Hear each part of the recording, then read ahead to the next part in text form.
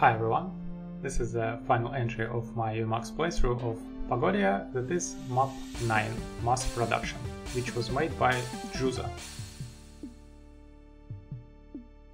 So this map starts pretty slow and very tight on ammo.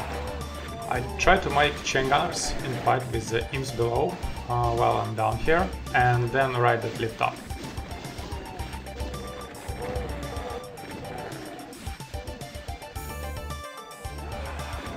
This switch opens the door outside, but it's on a timer, so it will close after some time. I will have to open it several times, uh, that's because I really want to be conservative on health and ammo in the beginning section. I'm even using pistol a bit.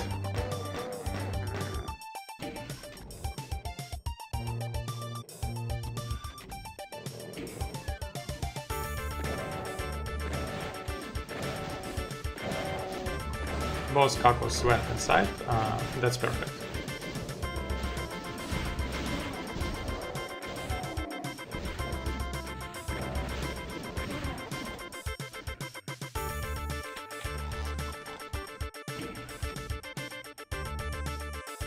And now it's time to finally go outside. There is a blue armor secret that I'm skipping right now. Uh, I'll return to it in a bit. I want to clear the inside of the building first, so I'll go into the caves with uh, 200 armor.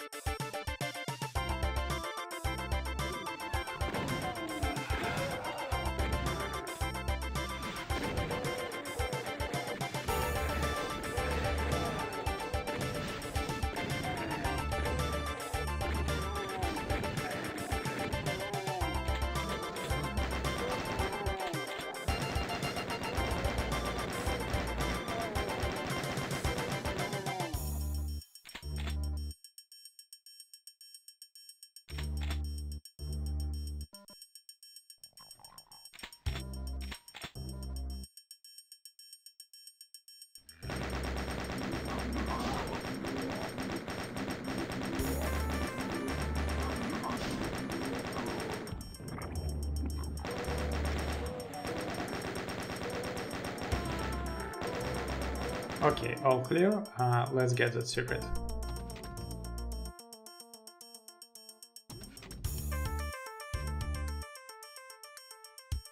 You just press on this wall here and it lowers and here's your blue armor. And now to the cave section.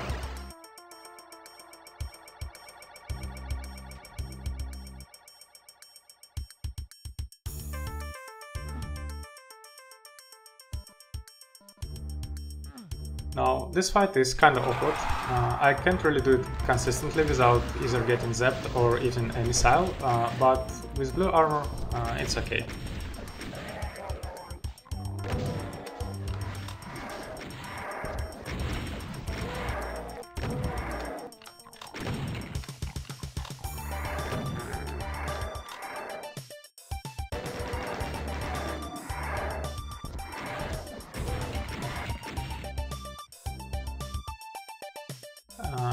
I'm also skipping a secret soul sphere. I will come back to it later so that I enter the next hard fight with 200 health. So I'm really taking this beginning section uh, very slow.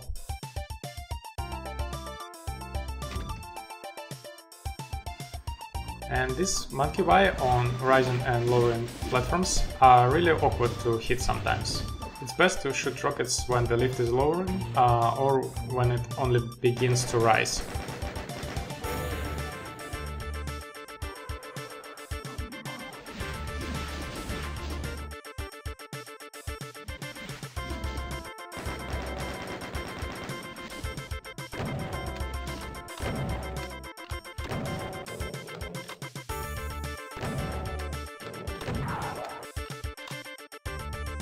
Can hit me when he's uh, on the top of that platform. So I'll deal with Revenant now, and when it lowers, I'll deal with Mancubus.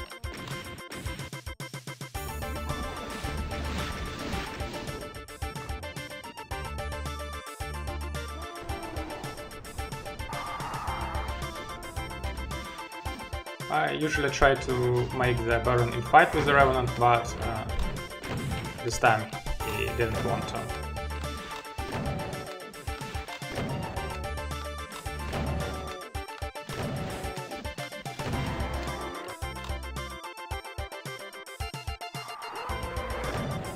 Oh yeah, once again, taking slow here to save health and armor.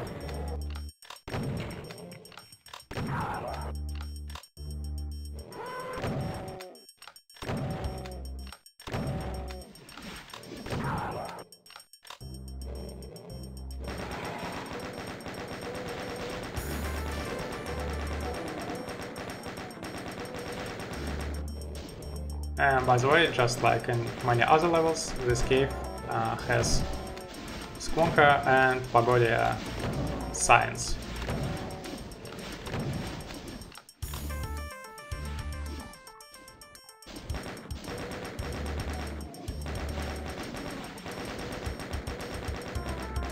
Okay, time to go back for that secret.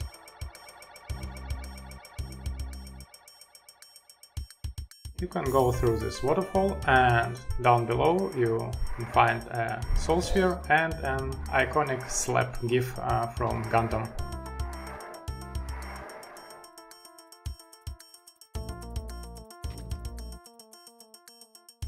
Now for the next fight. Uh, you'll have to fight an Archvile, 3 Cacos, a Pain Elemental and a Green Cyber in a very awkward space where all the flying monsters are really annoying due to infinite height uh, so I'll focus on the pain elemental first.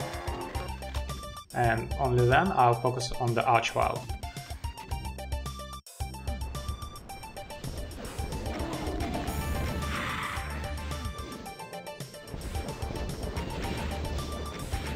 And this platform in the middle, uh, it's really unreliable in terms of uh, getting you out of the line of sight of the Archvile.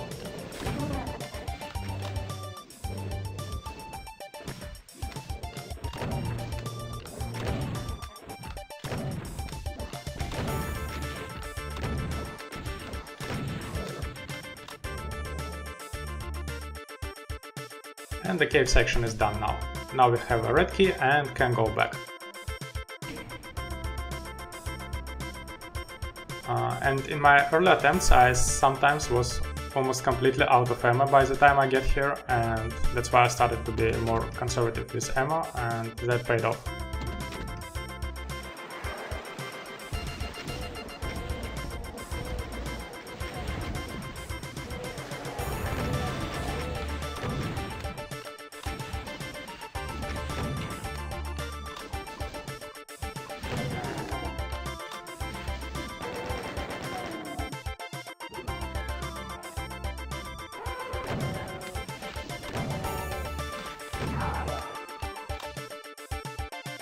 To get the next secret, you need to shoot this panel, and this lowers this plasma that you can immediately use to kill the green cyber. But uh, be quick, because the Archvile has spawned in the starting area. Also he outsmarted me here and got behind my back.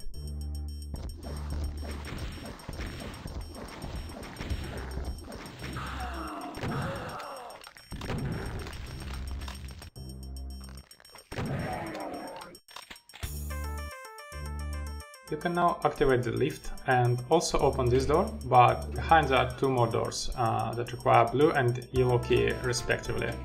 Uh, from now on you can choose which key you want to do first, uh, and I'm going for the blue key first. Uh, although I will clean up some yellow key area entrance as well, so I'm not sniped later. So this door to the right leads you to the blue key entrance, but the lift here is not working yet, and I will return here later.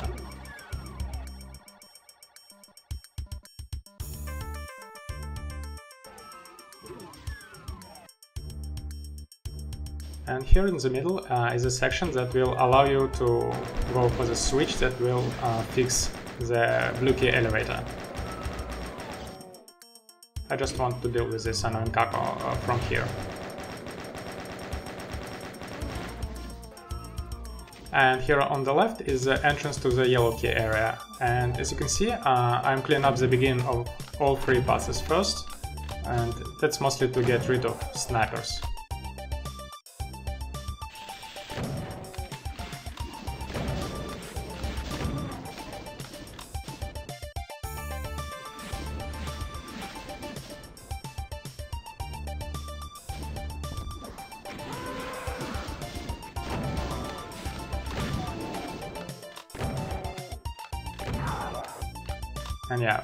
Buy placement is really annoying here, uh, so I take my time killing them.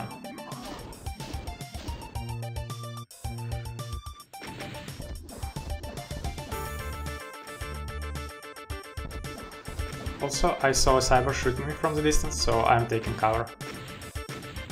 Uh, and now to the central area. Green Cybers uh, emerges here from the container, but he can be dealt with using plasma.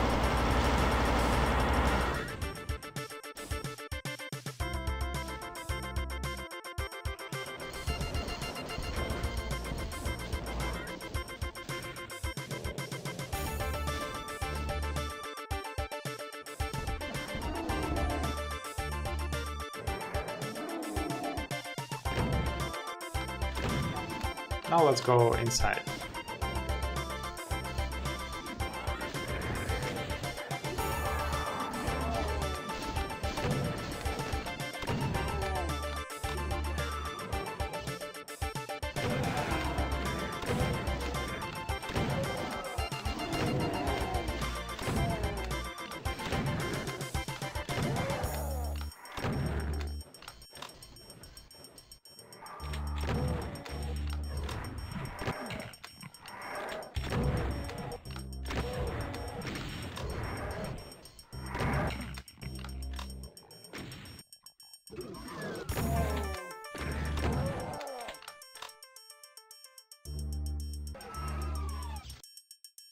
So this switch uh, on the right, it lowers plasma down there and the second switch uh, repairs the elevator and also spawns Archviles.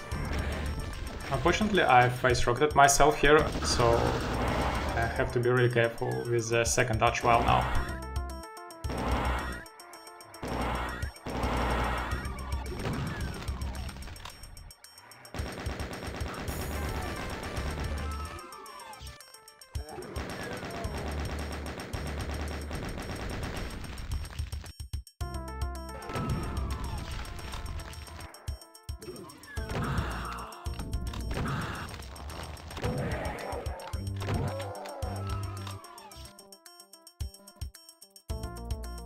Okay, now to get the blue key. Also, this vending machine uh, gives you some health bonuses and uh, it's kind of awkward because it's inconsistent uh, in different levels. In some levels vending machines uh, give you stuff and in some levels they don't.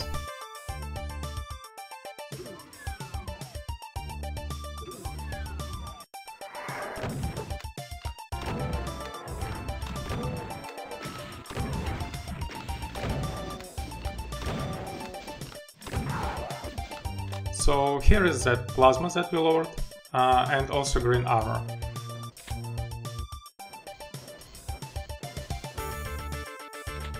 And now we can take that lift.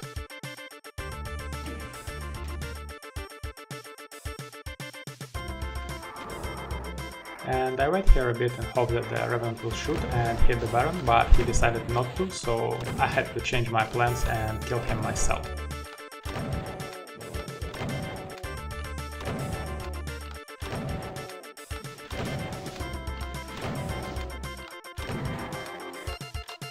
A jump scare here. Uh, and this fight I want to immediately focus on the Mancubus, and then the Hell Knights are not a threat.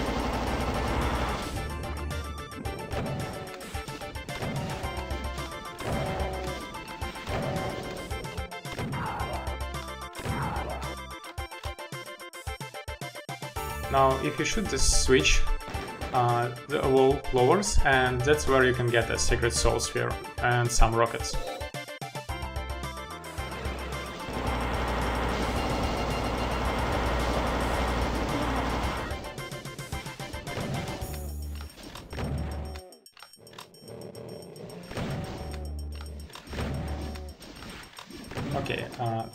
Checking that all of them are dead, and now to get the yellow key.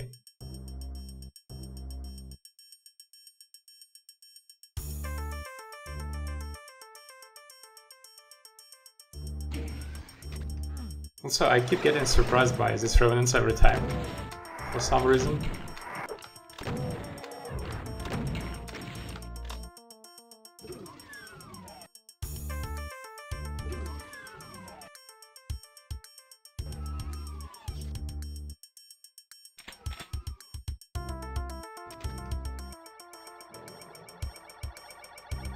Let's deal with the remaining enemies in this area.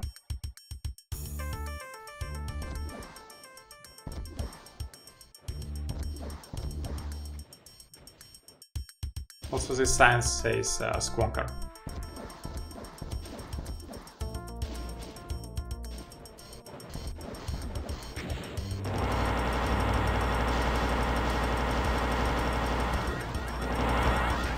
You can use this lift where the Arachnotron was uh, to get some cells.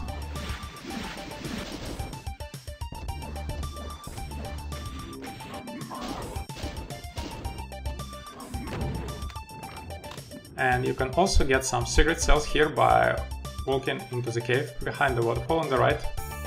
Uh, so yeah, two waterfall secrets in one map. Uh, how likely is that, huh? Now for the next section. Uh, I really want to run past everything and go for the secret teleporter that will allow me to telefrag all the cybers. Uh, because I don't want to fight the monsters here while being sniped by the cybers. Unfortunately, I failed to jump down to that uh, secret platform two times in a row. Uh, fortunately, it didn't cost me much health, but uh, yeah. Jump was stupid, I should have just redone uh, what I originally was planning to do. Just jump from the right side.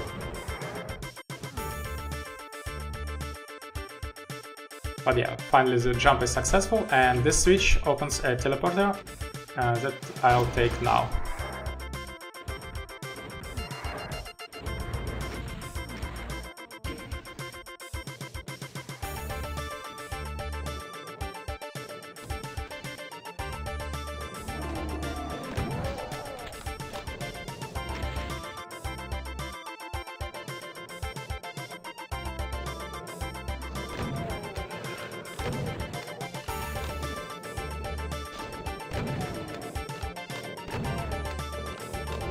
Yeah, this teleporter. Uh, using it, you will telefrag all the cybers. And now I want to clear that top area so these guys don't interrupt me while I'm doing platforming for the next two secrets.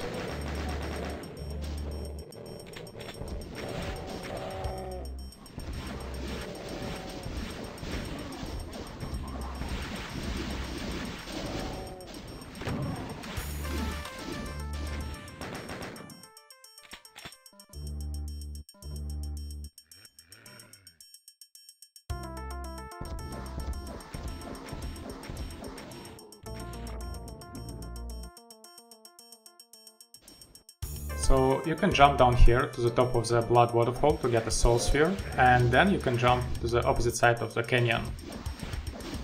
Down below you'll find a BFG, and that would be the last secret of the map.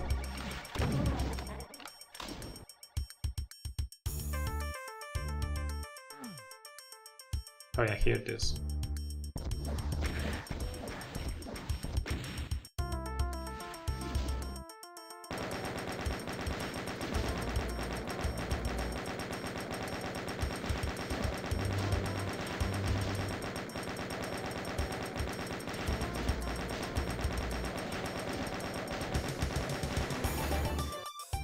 So now we have a BFG and all the secrets and basically we only have two fights left.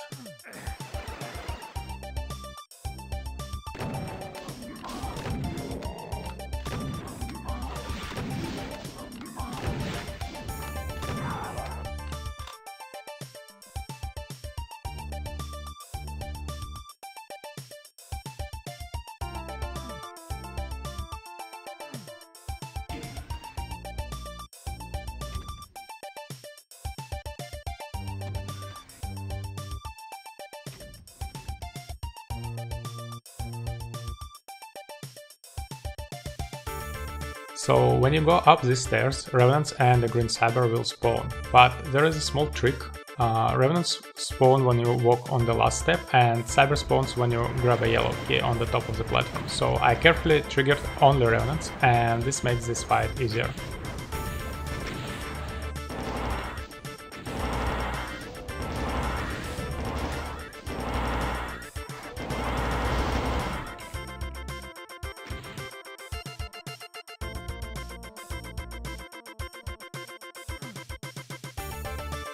Cyber is on a timer, so I'm waiting for him to spawn.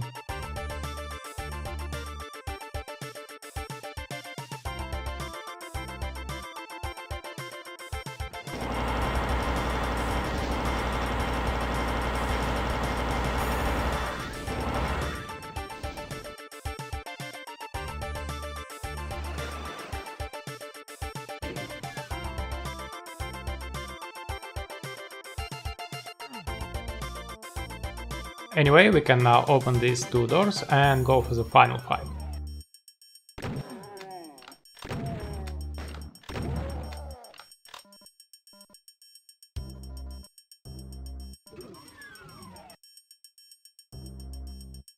You get a non-secret BFG before the final fight and also don't forget to take the Mega. Yeah, this one. And the final fight is basically three Cybers, uh, regular ones, and a lot of Revenants. I start by getting the cells that are the closest to the Revenants, then I will shoot rockets until Revenants come too close, and then I will switch to the BFG. And after most of the front group of Revenant uh, is dead, I will run past them and past the Cybers, so the revenants from the back, they also uh, in fight and also get killed by the cybers.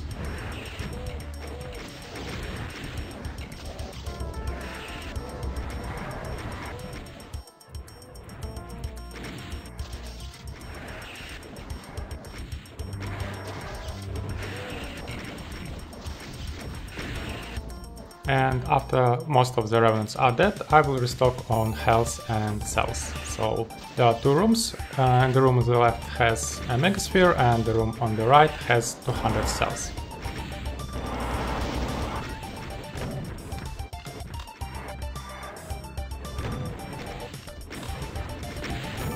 Although this Revenant really tried to mess me up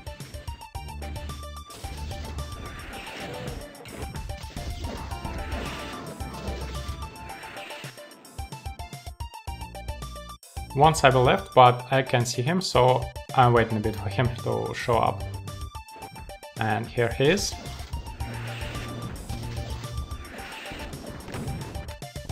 And the hardest aspect of this fight is basically darkness. Uh, you often can see where the cybers are and it makes it much harder to dodge the rockets.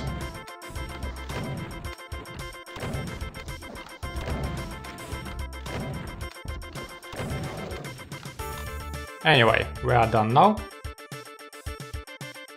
And we can finally get that promised uh, free shit. So yeah, this was map 9, the final map of the WAD, uh, longest as well. I'm not sure if it's harder than map 6 or not, but it definitely requires more endurance. Uh, like it a lot, except that maybe the beginning is too slow for such a map, but uh, it's just my personal taste. Otherwise, cool fights, great visuals uh, that cover a variety of different themes, uh, tech bases and caves, some toxic outdoors, uh, even the Blood Canyon. Very cool stuff. And very fitting as the last map of the WAD as well. Let's get to the credits map now. So that's map 10, credits map. It doesn't even allow you to move, so yeah, just uh, read the signs and enjoy the music. The sign on the right says, as expected, arigato, and the sign on the left says, as expected, Pagodia. So yeah, this is the end of my Pagodia Max playthrough. I definitely enjoyed it a lot. I think my favorite map visually is map 2, but in terms of fights, my favorite map is definitely map 6. And my favorite overall, well, I know I'm torn between map 3 and map 6, let it be both. Map 5 also takes a special place in my heart as the one I speedrun the most, and for a whole bunch of different categories, both successfully and unsuccessfully. Overall, it was a lot of fun. But anyway, all of the maps are really cool and I enjoyed all of them. Great visual theme, a very cool combination of purple and bright green for the color palette and awesome selection of MIDIs for each map, especially maps 6 and 8. So yeah, great stuff. I'm definitely looking forward for the future releases of the Squonka Squad, and I hope you enjoyed my playthrough as well. So, bye!